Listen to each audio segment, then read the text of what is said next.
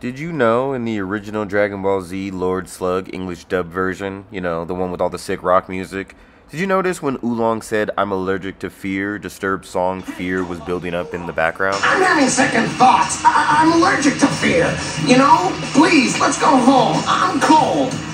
I'll be fine. Go ahead and go. Ah!